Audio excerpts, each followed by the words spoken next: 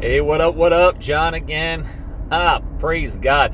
I don't know. I, uh, you know, the cell phone can be used as a bad device, uh, even a sinful device.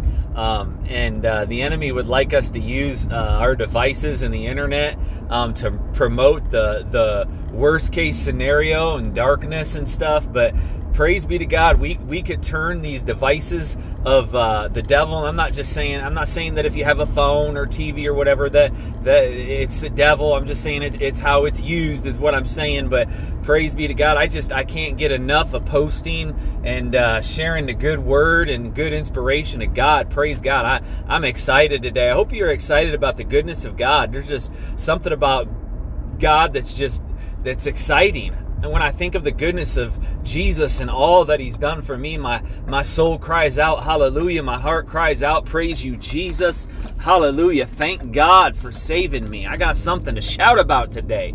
But I was thinking a little bit ago, I just got out of the gym and uh, I hit a PR today, guys. And uh, for some, you might think, oh, well, that ain't nothing to brag about. But I went into the gym just probably about a month and a half ago, lifting, uh, not, not, not lifting at all, but I went to went from like 135 to start to now I just hit a PR of 205 today, and uh, I'm just progressing. I'm hitting the gym um, four or five times a week as much as I can. And uh, guys, you know, we I could throw in the towel uh, when I get off of a uh, eight to ten hour uh, day shift at work and it's hot and it's 90 degrees. I I don't really feel like going to the gym all the time. There's days where I I feel like throwing in the towel. There's days where I feel like I can use every excuse under the sun not to go to the gym. There, there's days I tell my workout buddy, man, I just don't feel it today.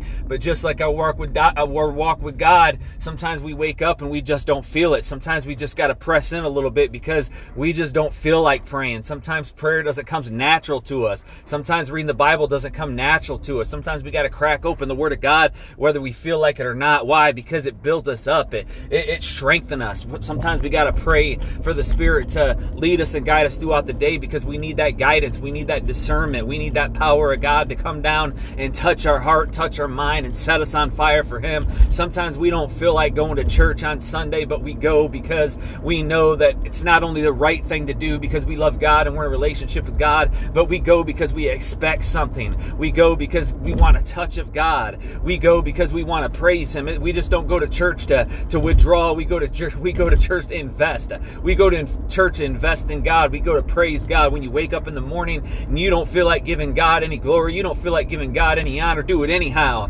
because God is giving you life and life more abundantly. God is giving you breath. Praise God. We have something to praise God for. Hallelujah.